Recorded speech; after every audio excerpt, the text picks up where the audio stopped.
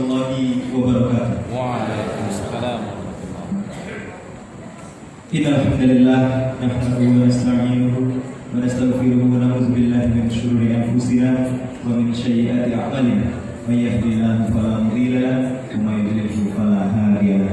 أشهد أن لا إله إلا الله وحده لا شريك له وأشهد أن محمدا عبده ورسوله. أما بعد. إذا رمضان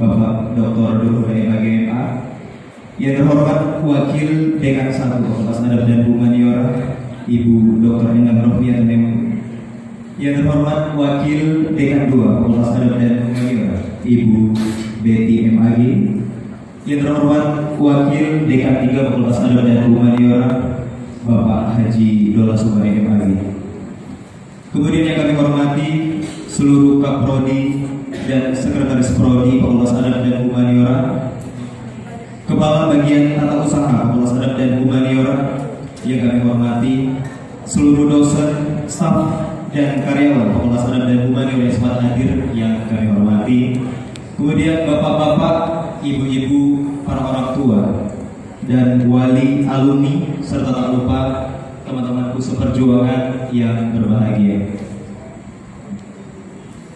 Segala rasa menghiasi langit-langit semesta pada hari ini seraya mengucap rasa syukur kepada Allah Subhanahu wa taala karena pada hari ini Rabu Kamis maksud kami 26 Desember 2019 kita semua masih diberi rahmat dan karunia oleh Allah Subhanahu wa taala sehingga bisa hadir berkumpul dan bersilaturahmi di dalam ruangan ini untuk menghadiri acara yudisium ke-17 Fakultas Adab dan Humaniora dalam keadaan sehat dan berbahagia.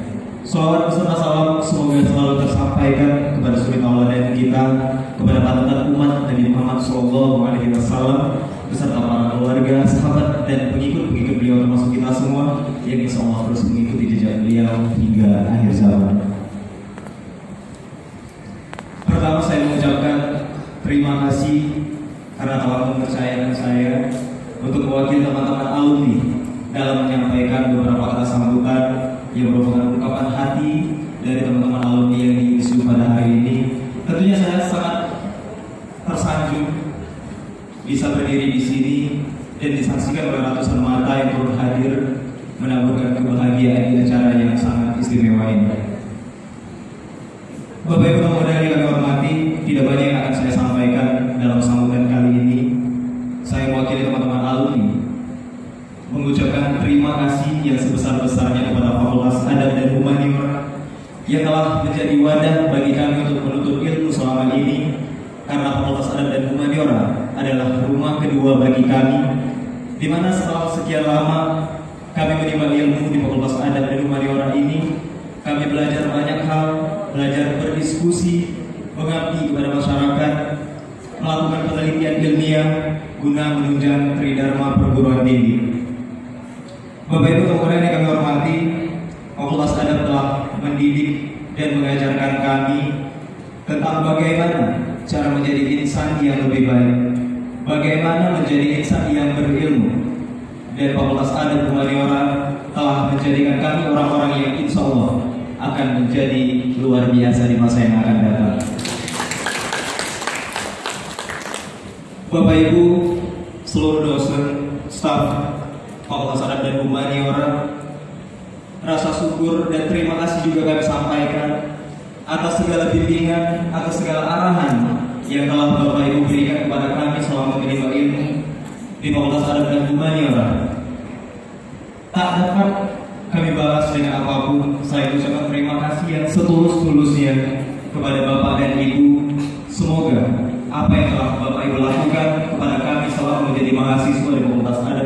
Humaniora menjadi amal jariah dan diganjar pahala yang berlipat ganda oleh Allah Subhanahu wa taala. Bapak Ibu tamu undangan yang kami hormati, tak lupa kami mengucapkan mohon maaf yang sebesar-besarnya kepada Bapak Ibu dosen, staf ataupun karyawan Adab dan Humaniora karena kami sadar selama kami menimba ilmu di Fakultas Adab kami pernah melakukan kejengkelan kami pernah menyulitkan ataupun menyusahkan Bapak Ibu, untuk itu kami mohon maaf yang sebesar-besarnya. Bapak Ibu kemudian kami hormati di Allah Sadar dan Umadi orang banyak hal yang telah kami lalui, banyak hal yang telah kami pelajari. Salah satunya kami belajar banyak tentang waktu, di mana setiap proses penyelesaian studi kami di Fakultas Adab dan Humaniora butuh waktu yang tidak sebentar. Ratusan bahkan ribuan kali ritual matahari terbit dan terbenam telah kami lalui untuk menggapai cita-cita kami, untuk menyelesaikan studi kami di Fakultas Adab dan Humaniora. Dan tak jarang kami harus menunggu, kami harus menghabiskan waktu yang kadang tak berujung. Namun terima kasih dan rasa syukur kami kepada Allah Subhanahu wa taala yang telah memudahkan langkah kami. Terima kasih juga kepada dosen-dosenku tercinta yang telah banyak membantu dan mempermudah jalan kami dalam menyelesaikan studi kami di Fakultas Adab dan Humaniora ini. Terima kasih sekali lagi kami ucapkan kepada Bapak dan Ibu dosen kami. Dengan menggunakan iman, kami yakin bahwa suatu saat kami akan berhasil.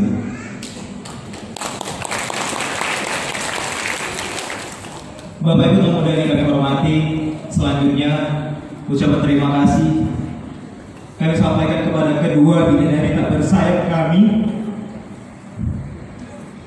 kepada kedua orang tua kami, terima kasih atas setiap tetes peluk yang jatuh demi kelancaran studi kami. Terima kasih untuk setiap tetes air mata yang jatuh di setiap sujud-sujudmu penuh doa untuk kami. Yudisium ini bukanlah sebuah akhir prestasi bagi kami. Ini adalah sebuah kado kecil yang kami berharap bisa menjadi obat penawar perihnya lebih selama mendidik dan membimbing kami sehingga kami bisa seperti saat ini. Bapak Ibu tamu undangan yang kami hormati, rasa haru, biru, dan pada kebahagiaan memang tak dapat kami bendung. Karena pada hari ini kami telah berhasil melewati salah satu episode kehidupan yang menurut kami tidaklah rumit untuk kami selesaikan. Maksudnya tidaklah mudah untuk kami selesaikan. Namun hari ini 26 Desember 2019 kami telah resmi menjadi alumni Fakultas Adab dan Humaniora dan telah menjabat gelar yang kami idam-idamkan selama ini. Bapak Ibu, dengan diudisiumnya kami pada hari ini, tentunya telah menambah beban moral bagi kami mengingat gelar yang disematkan bersamaan dengan nama kami. Status sebagai mahasiswa boleh saja telah usai, namun ilmu dan tanggung jawab atas gelar yang telah disematkan kepada kami akan terus terbebani selama hayat masih dikandung badan. Untuk itu Bapak Ibu tamu yang kami hormati, perjalanan kami masih panjang, perjuangan ini akan terus dilanjutkan. Untuk itu kami mohon doa restu kepada Bapak Ibu, semoga suatu saat nanti perjalanan kami untuk menapak pendidikan yang lebih tinggi diberi kelancaran dan diridhoi oleh Allah Subhanahu wa taala. Bapak Ibu di akhir sambutan ini tak lupa saya sampaikan bahwa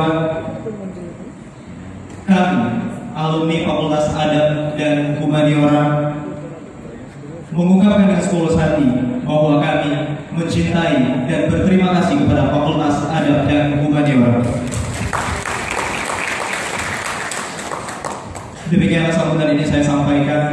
Terima kasih atas perhatian. Mohon maaf atas segala kekurangan dan kehilafan. Kepada Allah, marilah sama-sama kita mohon ampun. Cendrawasi burung menawan bila melihatnya mata terkesan. Kepada teman-temanku seperjuangan, sampai jumpa di gerbang kesuksesan. Wassalamualaikum warahmatullahi wabarakatuh.